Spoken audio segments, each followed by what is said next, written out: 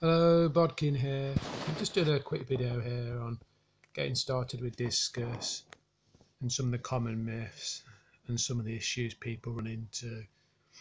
Discus really do invoke fear in fish keepers because of their expense and the reputation. If I can give you one tip and one thing you can take away from this video is don't buy fish that are ill and sick buy fish from the best possible source you can that are reputable people. Don't buy cheap fish people just getting rid of because once you buy sickly discus, you're never going to get them right. They're very prone to internal problems and gill flukes, and once they're ravaged with these, you will really struggle. So, my, my biggest tip is buy them from a hobby breeder because it'll be far cheaper or from a reputable source. And if you can take somebody with you that's knowledgeable on discus, it would save you a fortune and a lot of trouble.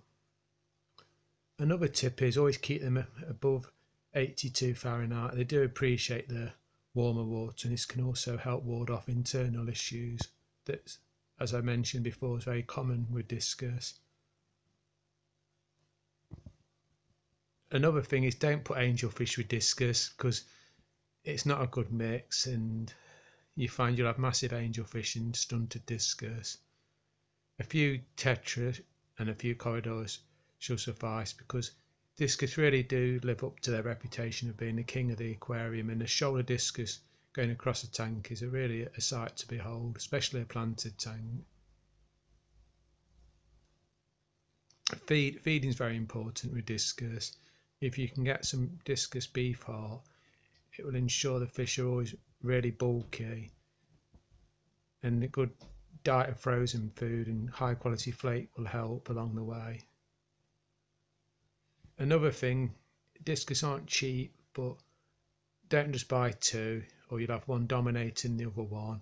Then you'll just end up with one discus you really need, because they're a shoaling fish and they have a pecking order, and it will take a while to sort this pecking order out, you do need a good six to eight, eight ideally.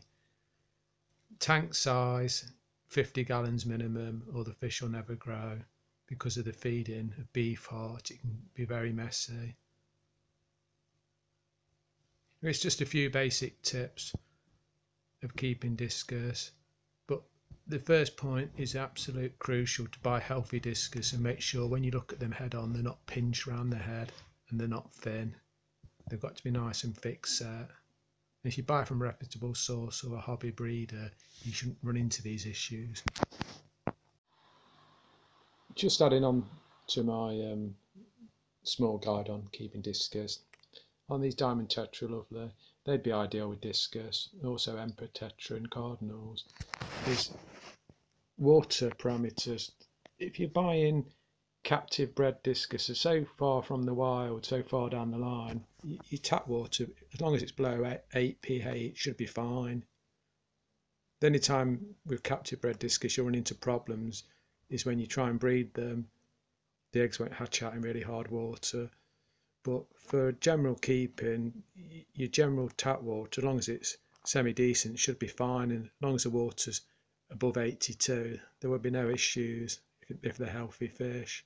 So you don't get buying RO units and fancy concoctions because stable conditions will always be soft water that's bouncing around in pH and can be catastrophic for fish's health. So just stick to your dechlorinated tap water.